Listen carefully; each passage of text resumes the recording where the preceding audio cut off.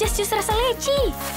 Butiran granulanya langsung larut. Sensasi manis lecinya surprise abis. Seperti buah asli. Just jus baru, manis lecinya asli segar. Dari Food.